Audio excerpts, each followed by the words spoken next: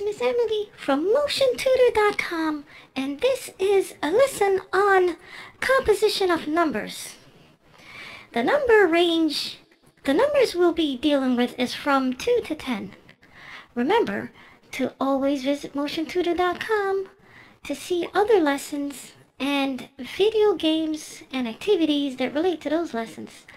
Okay, now let's get to this lesson the composition of numbers. Now what that means is I will be joining numbers together to make a bigger number. See, this image right here, this is called a number bond. And it is used to illustrate how numbers are made up. It shows the parts of a bigger number. So a number will be here, another number will be here. And you see how they're connected? There's a little line that connects to this bigger part over here. So the parts will be in here, the smaller parts, and they combine together and make a bigger number in here. And I will show you what I mean right now. So, I will have a number here. Let's say the number 1. And down here, another number one. So this is saying that we have one and we have one. And they're going to be fed into here. They're going to be composed together to make a number in here. And I will grab another number. I'll leave it at zero for now until we get our correct answer. And let me get something for to illustrate. And let me get something to illustrate even further.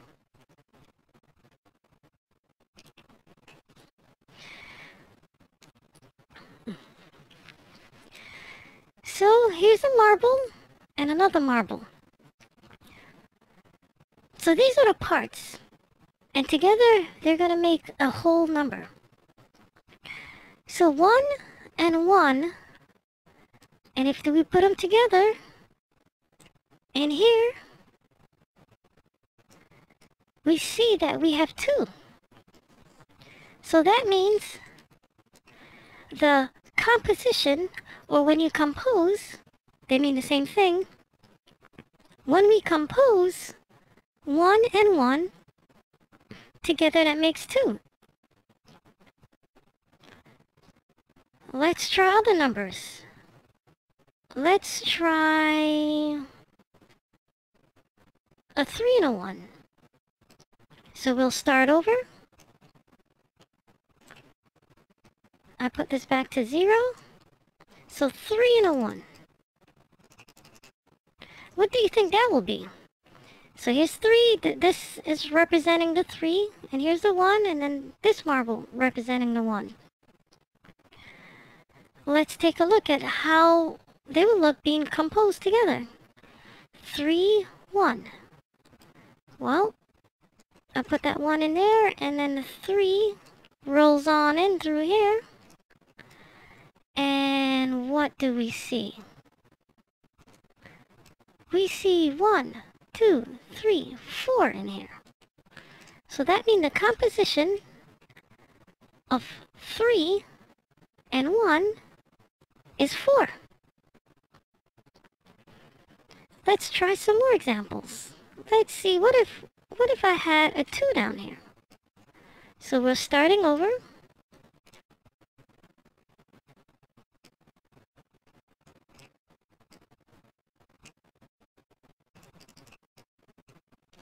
There. Three. Here's three. And here's two. Do you know what will be the answer when we compose them together? What would be the answer in here? Let's take a look. There go one, two, three, that was up there. And then the two in here. And what do we see in this bigger circle? One, two, three, four, five. So that means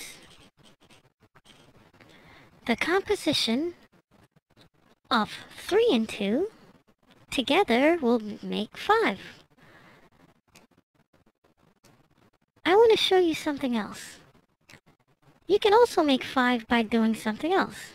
What if we have 4 and 1?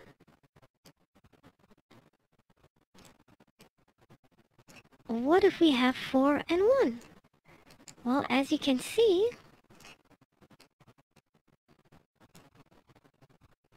four in here and one down here, it is one, two, three, four, five. So it's still five. Alright, let's get some more numbers in here. I will reset this back to zero let's say we have three and three. So we have three and three. What do you think that will equal? Well, if we bring these three in, and then this, you can see that we have one, two, three, four, five, six in here. So when we combine the threes, we get six. So the composition of three and three is six.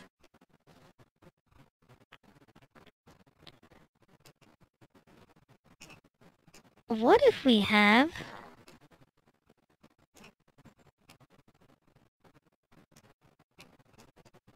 four in here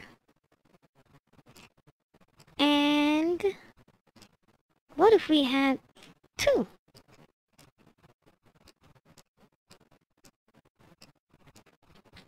So that's four and that's two. And we are going to compose them together notice that it will still be 6. So this is another way we can compose and show the parts of 6. 1, 2, 3, 4, 5, 6. So the 4 and the 4 and the 2 gave us 6. Just like the 3 and the 3. And you know what else can give us 6? A 5 and 1. I'll show you right now, see? Remember, there was 6 down here, right? See? So, there go the 1. And... Here goes the 5.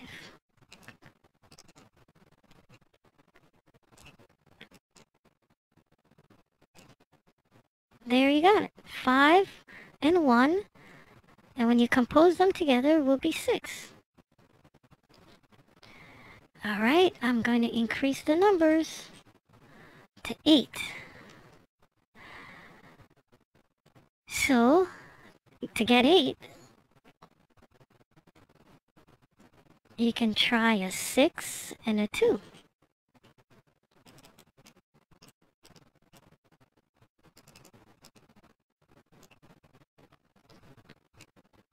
Let's see if I'm correct. Six. So there's six in here and there's two. Let's see. One, two, three, four, five, six, seven, and eight. There you go, there eight.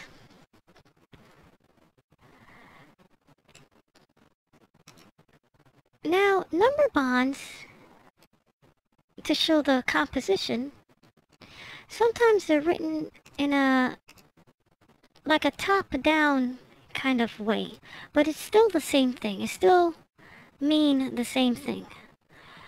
And you know, sometimes they look like this also, like a squared look. Sometimes they look circular like this. This time I'll go with the squared look. And you'll see it will be the same thing. So if I have, for example, a 4,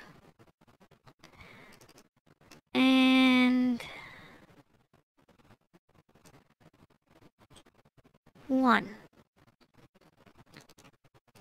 Let's take a look at that.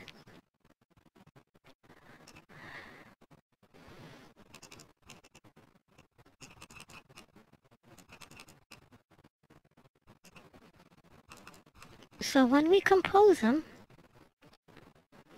what would be the answer down here? It's a larger number. We have 4 up here and we have 1. Let's see. 1, 2, 3, 4 and 5. So we see that the composition of 4 and 1 is 5. Same thing we did in the previous example, but now it just looks a little different. But it still is, it, still means the same thing. The same thing's still going on. And I will do one more example. I'll bring this back to zero. Let's get the marbles up here. And let's say we have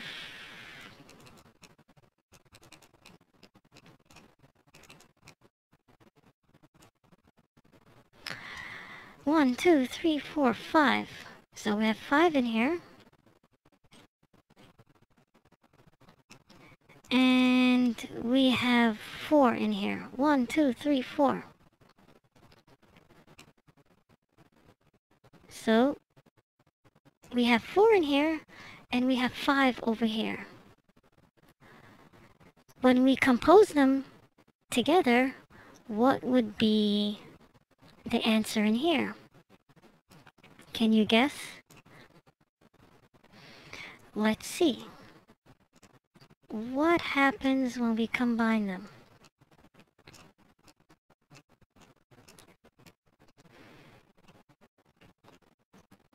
There goes that 4 over there.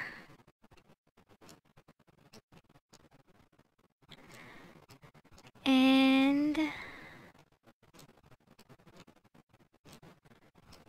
5 in here. So we have one, two, three, four, five, six, seven, eight nine. And that is nine. So we have nine. The composition of 4 and 5 together is 9, and I proved it by using these marbles here. And you can see that this can go on and on and on. You can have different combinations. You can have different... Let's keep this 9 and change this up a little you know, I can have 3 and 6. It still would be 9. And I'll, I'll show it to you. One more time.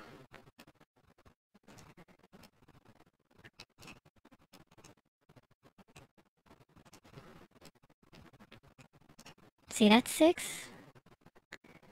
And here's 3. And you see, if we put, you, you see, if we put these three down here and we put these six, it will be nine. See? One, two, three, four, five, six, seven, eight, and nine. So that's all for the composition of numbers. Be sure to always visit motiontutor.com for more lessons, videos, and games and activities. Bye for now.